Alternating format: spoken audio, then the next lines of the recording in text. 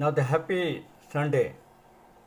The English news agenda I'm giving the very important the top level the as news from the our YouTube local smart channels. That's news is the ex Mumbai police chief in CBI custody. CBI has taken the four day the custody of the former Mumbai Police Commissioner Sanjay Pandey in connection with the allegation the illegal phone tampering of NSE employees by the information technology firm. Official the said on the Saturday.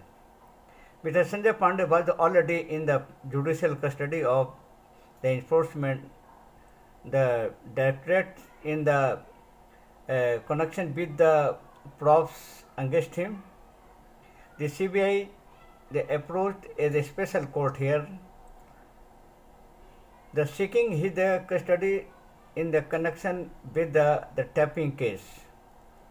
The court they granted the four day the custody of the accused to the the probe agency they the said like the agency had the booked the Mr. Sanjay Pandey is the Delhi based the company ISC section the services private limited NSE official the formal MD and seized the Ravi Narain and uh, Chit Chitranjan Ramakrishna executive the vice president Ravi Varanasi and the head the premises the Mahesh the Haldipur among others in the FIR.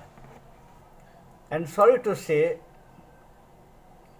now the high level of the senior officer, just like the, the Sanjay Pandey, is connected in this case that this is the uh, bad news and uh, you can say Hind the दुखद कह सकते हैं दुखद विषय जब senior officer ऐसा करेंगे तो what will be affected in the future engine heat.